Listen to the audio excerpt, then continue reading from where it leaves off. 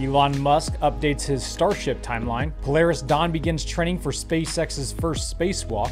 Another Starlink launch is just moments away. And we finish with today's honorable mention. I'm Kevin, and this is SpaceX in the News.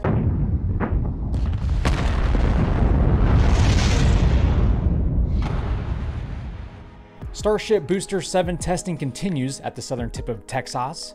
On Wednesday, the first stage underwent its third overall full fill up cryo test, and once again, on the face of it, all appeared nominal. LabPadre even granted us an up close view of the booster's quick disconnect in action. This clip is in real time.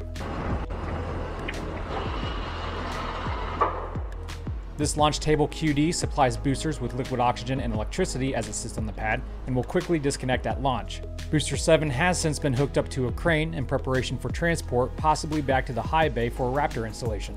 Also on Wednesday, Starship 20 was relocated from the launch site to the Rocket Garden, where starships go to watch the action like the rest of us. Nearby, SN16 was hooked up to the gantry crane of the new High Bay 2, formerly known as the Wide Bay, to test the new equipment. And next door to that, the future Starship factory building has begun receiving skin on its skeleton. Local photographer Starship Gazer getting all up in that action.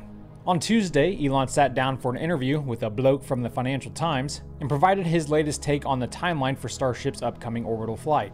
We're making a lot of progress with Starship. We will hopefully have our first launch attempt uh, this summer, um, or basically next next two or three months. Um, and we're building up the, the, we've got a factory for starships, so there's a whole bunch of starships coming behind the one that will attempt launch uh, soon. So if that one doesn't work, we have um, we'll have many more behind that, and we're continuously improving the design. He also updated his expectations for the first Mars missions. I think I think we we should be able to I don't know maybe get Starship to Mars uh, uncrewed in um, three to five years, um, and then I think if, if that's successful, then we may be able to send a crewed mission to Mars uh, before the end of the decade. That may seem like ways away, but exciting stuff will be happening as we wait. Polaris Dawn Commander Jared Isaacman announced that his crew will begin their extravehicular activity training this month.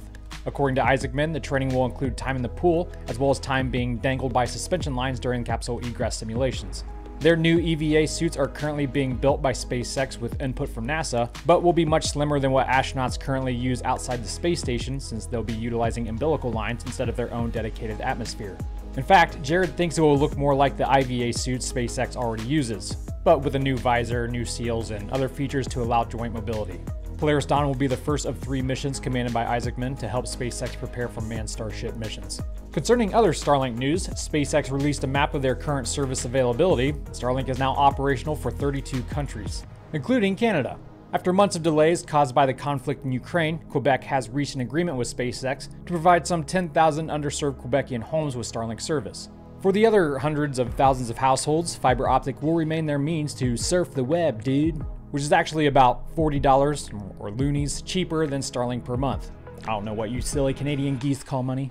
But thanks to the socialist redistribution of wealth and internet speeds, those receiving Starlink won't have to pay the difference between the two services.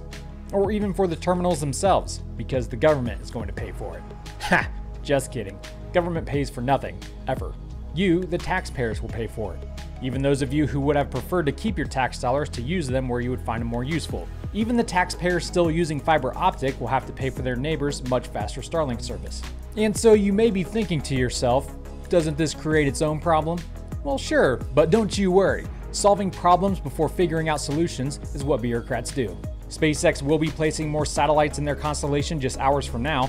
If you'd like a viewing buddy, I'll be streaming it live on the tubes. So be sure to head over there as soon as we're done here. Hurry up and wait. But now it's time for today's honorable mention.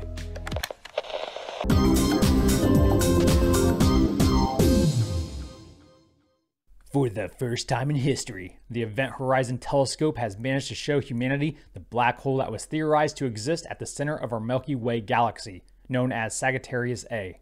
Are you ready to see it? Here we go. Yay! That's super disappointing.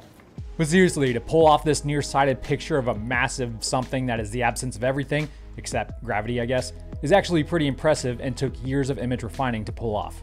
The EHT is actually composed of many radio telescopes around the world, essentially turning Earth into one big telescope array, capable of seeing through all the galactic gas and dust that resides between us and the center of our galaxy about 27,000 light years away. Well, that's all for this one.